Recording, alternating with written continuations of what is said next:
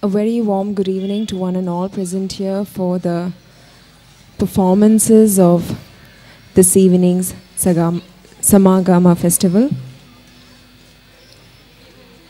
We have Karmic Blues performing today for us.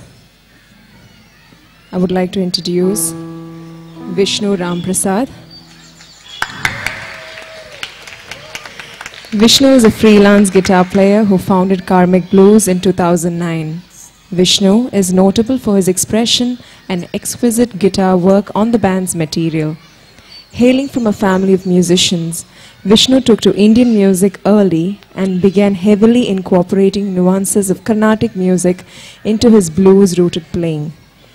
His guru in Carnatic music is his father, the noted musician Sri T.V. Ramprasad. He has also been awarded the Pogo Amazing Musician Award in 2010, as part of which he was introduced to the Turner International List of Musicians. Having stated his foremost inspirations has been guitarists John Anthony and Neil Mukherjee, Vishnu will be performing a 50 minute set with some global collaborations featuring eminent musicians like Oliver Fox from Germany on the saxophone, Betty Jardin on the keyboards and vocals, Allwyn J. Paul on percussion, and Ley Sangma on bass guitars. Karmic Blues.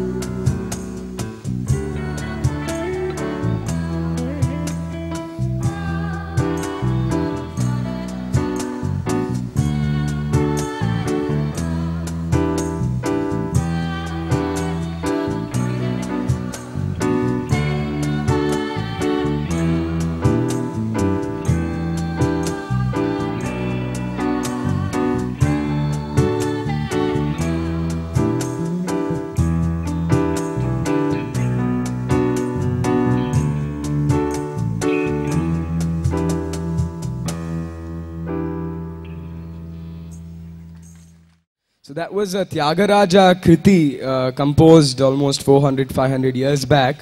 It was called uh, Endaro Mahanubhavulu. So that was the first piece. Uh, now I'd like to welcome Mr. Oliver Fox on the stage. He'll be playing the rest of the set with us. So.